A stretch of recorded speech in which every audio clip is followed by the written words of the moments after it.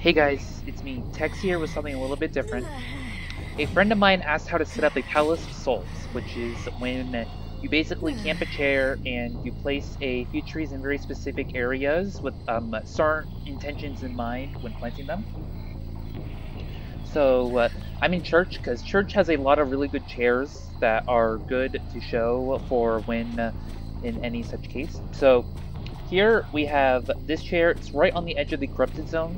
So there are there are th three or four ways you can basically do it. They all have the same basic philosophies where basically what you want to do is have the um, corrupted zone sort of intersect in a very specific way. So let's say we want to have the um, have it intersect right here. I'm going to show the five tree method. This is very wasteful. I do not recommend doing this, but I'm going to do it for the sake of demonstration. So you're going to plant a tree right there on the edge.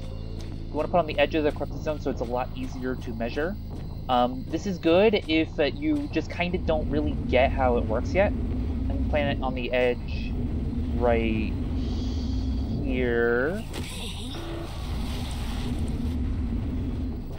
Of course, right as I did that, it all fell down. So I'm just going to go ahead and place it right here. And this is more of a, like a demonstration, so then, let's see. So then I also want to place one right about here on this edge. Of course, you're not going to get as exact as this, but still. And then I want to place one right here, like this. So of course, you don't want to do this exactly, but if you notice, right here, they all intersect right here. And so then you just have a million fireballs going around. And uh, the uh, and it and it becomes significantly easier to, to defend. That's the whole idea, at least. I don't recommend doing it this way because it takes five trees, and that's just a little bit wasteful. So I'm going to show you how I personally try measuring it, because you don't need to be this exact. This exact has its problems, but um, so yeah. But this is the general idea. Um, this is the four tree method, because I don't put a tree here, I just kind of wing it. I put these a little bit closer so that you have the restful roads.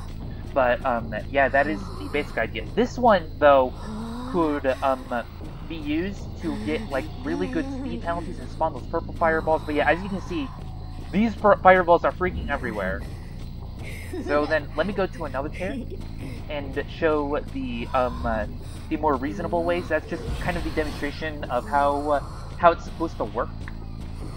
So uh, let's go over here. So there's a so yeah. Generally, there will be a tree that spawns right here. And so for here, what I'll do is I'll place a tree right here.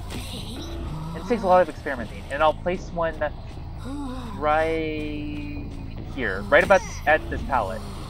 This way, you get the restful road, and then where the corrupted zone's um, edges are, it so this kind of triangle formation has it had, makes it a lot easier to defend because you have it you have it going through this area, and uh, you have it going at each of the edges, and uh, yeah, it's just this is a this is called the um the three tree method, which in which you basically put a tree in you put them in a triangle area around the chair. And of course, this is all you have to kind of experiment. Uh, next, I'm going to show you the uh, the two tree method, which is a lot simpler. What you basically do is let me find a chair real quick. Give me a sec. Um, chair, chair, chair. Okay, there's one over here.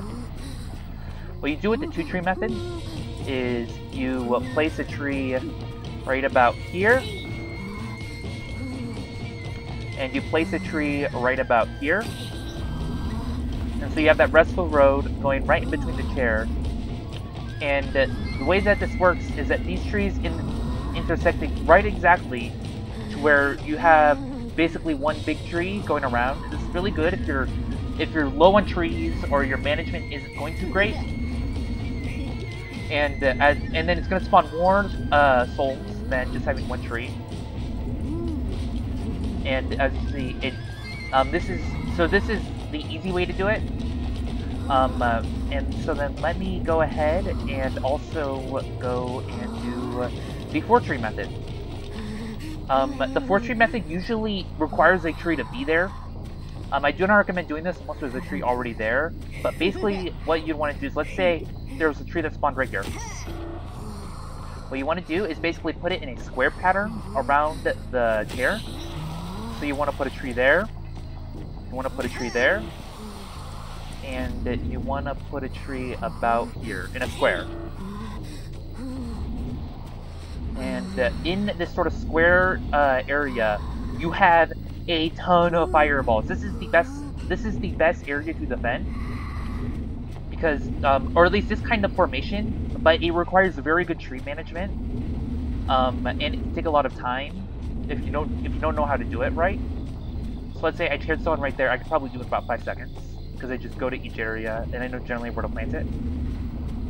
And so as you can see, if they come from anywhere, there's fireballs waiting right there. But this isn't always practical, um, because it, it can take a lot of time to set this up if there isn't already a tree there, or if you don't have max trees. So uh, the two tree method is there for if you need the um, if you need that kind of uh, if you're low on trees and uh, it, but you want to still do it, set up a house so that's how you do it. So let's say you have no trees, and but you're at max trees, and you think you can uh, properly manage your trees. Then you instead what you want to do is you want to put in a triangle formation. So you want to put one here, put one here, and put one right about here in this triangle formation. And so then this way, it, it works the same way, where you're just going to have a ton of souls going around, and the, the and they're just going to spawn freaking everywhere. But it isn't going to be as insane as doing the four tree method over there. Um, uh, and yeah, that is how you set up a Palace of Souls. I hope that you learned something. So yeah, the basic ways are you either do a line right at the edges of, e of each other's corrupted zones, you do a triangle formation, or if there's already a tree there, you do a sort of square formation. So yeah, I hope you all enjoyed that. Um, goodbye.